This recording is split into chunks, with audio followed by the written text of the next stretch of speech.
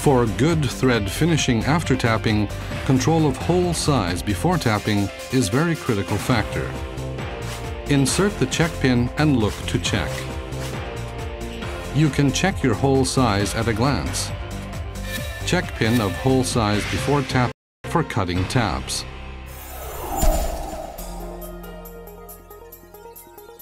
A tool to measure the hole diameter before tapping. It is a simple tool.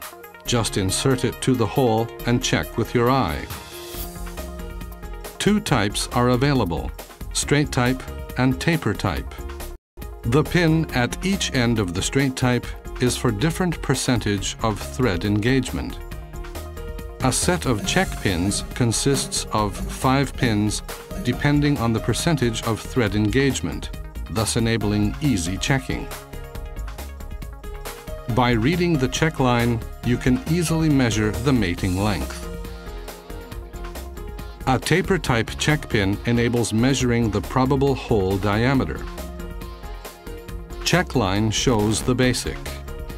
By reading how long the pin inserts, you can check the hole diameter before tapping at a glance.